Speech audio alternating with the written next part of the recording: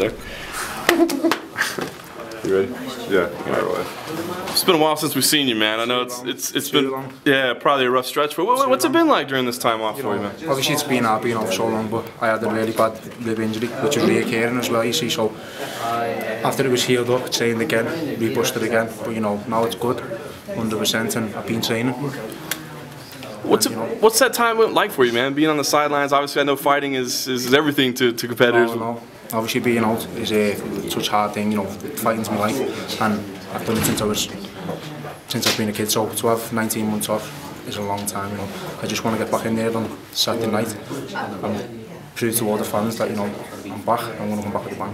What's the emotion like? I mean, we hear things guys talk about cage rust and timing and, and that sort of stuff. I mean, what what are your concerns or, your, or your feelings know, going in? Listen, right, I've been in the gym. I've been training so hard. I've done hundreds of rounds of sparring. You know, I'm sharper than ever, fitter than ever, and it's not going to be a problem. I guarantee you. Second night comes, you know, I'm just going to switch on. You know, it's going to be sharp. Coming off a loss, obviously that's that's got to be tough too. The time off and the loss, right? How, how much does that weigh on you? I think that was the hardest thing, yeah, because it was coming off a loss as well. Before that, I was coming off four consecutive wins. Yeah. So if you would have got injured after four wins, it wouldn't have been as bad as what it was coming off a loss. You know, I've been, I've been dying to get back in there and kind of redeem myself after that loss, but you know, it hasn't been able to happen. So, as I say, it'll, uh, it'll, it'll be very good to uh, redeem it. Has it been difficult for you at all, or have you been focused the whole time and stayed strong, or have there been times where? I mean, obviously it's hard, but I think you've got to stay mentally strong. You know, you know. I think the fight game is a big part of mental as well. And if you're not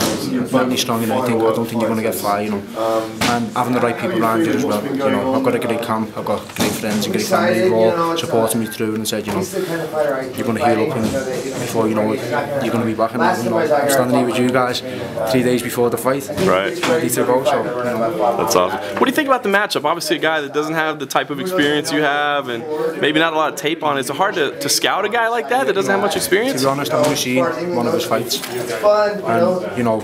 Not the best You can't really take take too much from it because I've never gone off one fight. You know, I know he's in the UFC, so everyone in the UFC is tough. So I'm going to take him as, as a very tough fight. I'm not going to take him lightly. You know, but I'm definitely confident that Saturday night comes, there's only, that there's only, only going to be one winner.